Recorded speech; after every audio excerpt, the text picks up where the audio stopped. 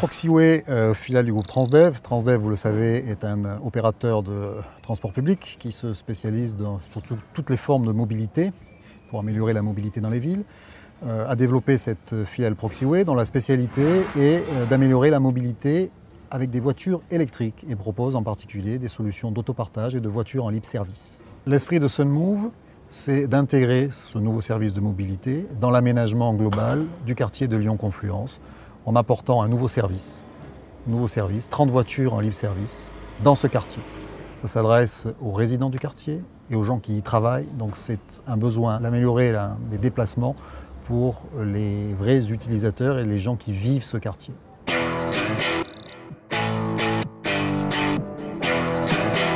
Dans Sunmove, il y a aussi Sun, puisque l'ambition de ce projet est, par aménagement du quartier avec production d'énergie solaire, avec des panneaux photovoltaïques qui seront peu à peu installés sur tous les nouveaux bâtiments, de démontrer que non seulement le quartier économise de l'énergie, mais en plus, cette énergie solaire permet à elle seule de faire vivre la flotte Sunmove. C'est euh, une façon plus maligne de consommer euh, l'énergie dans un quartier et de consommer la mobilité.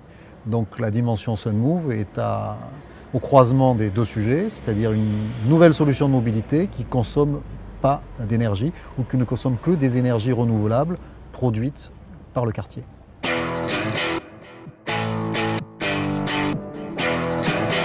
Sunmove est une déclinaison transport de la Smart City.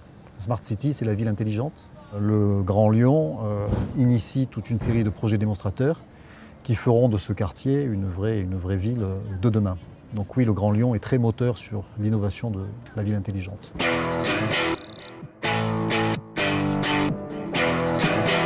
Nous percevons effectivement Lyon et Lyon-Confluence comme un terrain idéal d'expérimentation. On a eu d'abord la chance d'être sélectionné sur la base de notre capacité à avoir monté des projets similaires ailleurs.